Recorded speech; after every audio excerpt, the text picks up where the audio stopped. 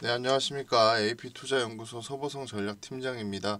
오늘 살펴볼 종목은요 포인트 모바일 포인트 모바일 되겠고 코드 번호 어, 318020 되겠습니다.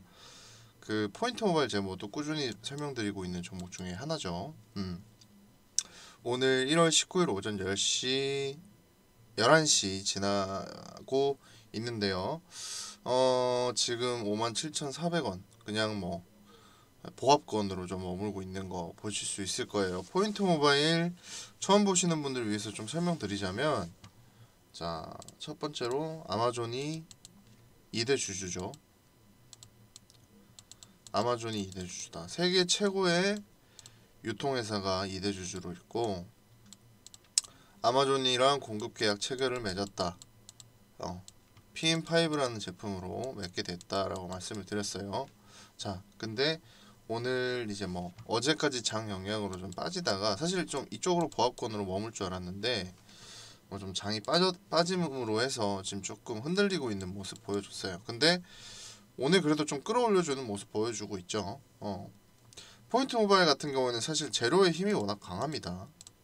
갖고 있는 재료의 힘이 워낙 강하기 때문에 어 오히려 그 뭐 5만 5천 원 밑으로 빠지게 되면 저는 좀 매수 관점으로 보셔도 괜찮다라고 또 말씀도 드렸고 6만 원 이하로 빠지게 되면 좀 매수 관점으로 보셔야 되는 거 아닌가라고도 말씀을 드렸었어요. 음. 근데 아니나 다를까 지금 계속해서 좀 오르고 있는 종, 어, 모습으로 보이고 있거든요. 어, 6만 원대, 5만 5천 원대 깨지자마자 바로 또 매수세에 들어와서 바로 좀 끌어올려주는 모습 보여주고 있어요. 근데 뭐 장의 영향으로 그냥 빠졌다고 생각하시면 될 것 같고 그 장 보시면 코스피 다시금 상승 중에 있고 코스닥은 좀 내려가다가 다시금 좀 윗골이 말면서 좀 올라가고 있긴 하거든요. 음. 근데 일단은 코스피가 회복이 돼야 코스닥도 따라가는 움직임을 가져갈 수가 있기 때문에 어 좀 우상향할 가능성은 아직까지도 많이 남아 있다라고 말씀드릴 수 있을 것 같아요. 자 일단 일봉상으로만 좀 볼게요. 신규 상장주기 때문에 상장 이후에 하락, 상승, 하락, 상승, 하락이 나옵니다. 근데 이 하락이 그냥 하락이 아니라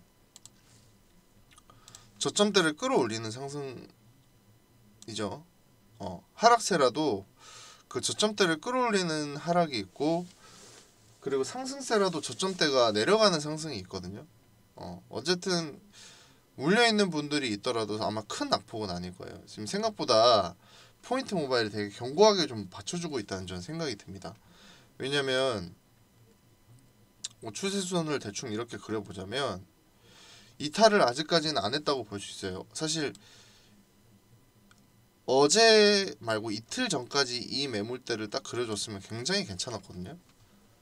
여기서 양봉이 떠줬다면 다시금 여기서 말아 올라갈 수 있었는데 이게 이까지 빠지면서 조금 불확실해지긴 했어요. 그렇지만 어, 여기서 양봉이 떴다는 건 이제 다시금 저점대를 나는 올라갈 거라 야라는 신호로 좀 보셔도 될 것 같아요.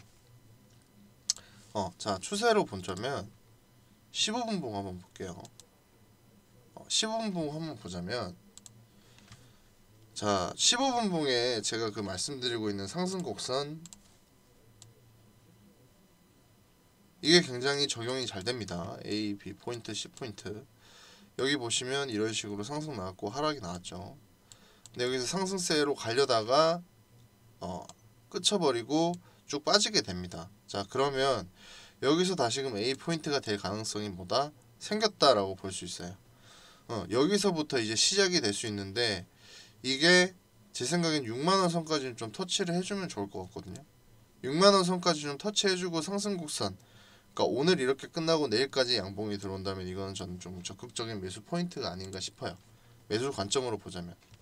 음, 그럼 좀 보수적인 투자자 입장에서는 어떻게 해야 되냐?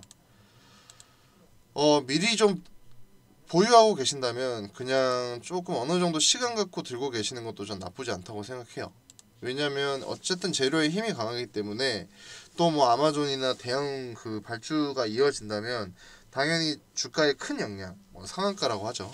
이런 식으로 긴 양봉 하나 들어올 가능성 크거든요.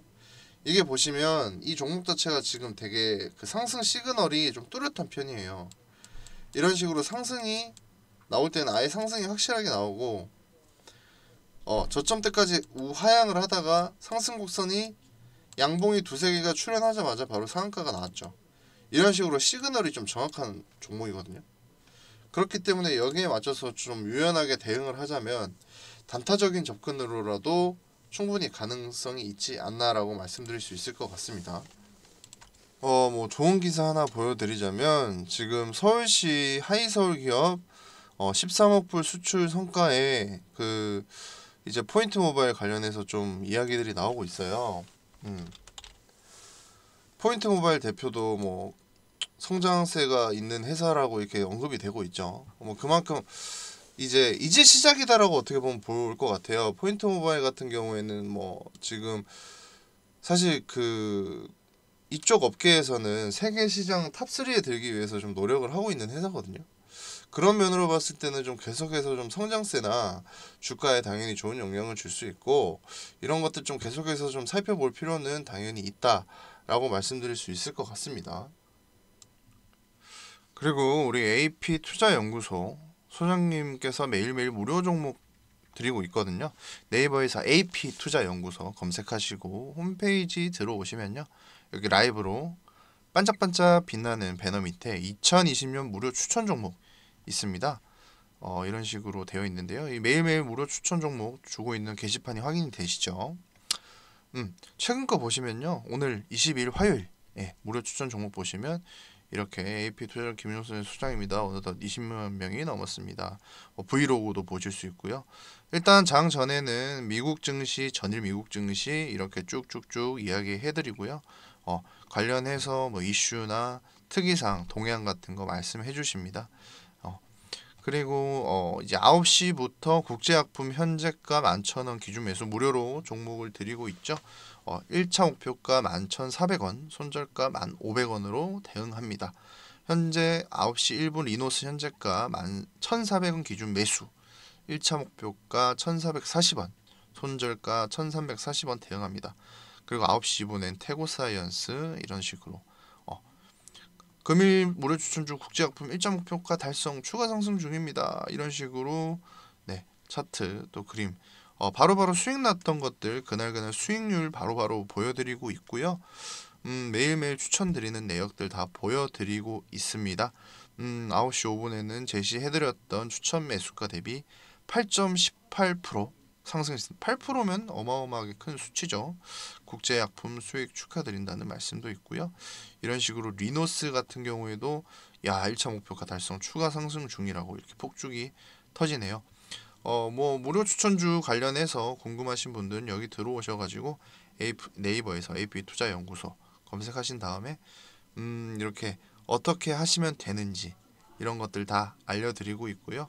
어, VIP 분들 이런 관련 내용들 충분히 보실 수 있습니다. 어, 매일매일 추천드리는 내역들 다 보여드리고 있고 물론 뭐 100% 어, 다 오르진 않겠죠. 한두 개 빠지는 것들은 있겠습니다. 그러시지만 도움 원하시는 분들은 들어오셔가지고 도움 받으시고 또 수익 좀 잘 내실 수 있게 성공 투자 기원하겠습니다. 네, 감사합니다.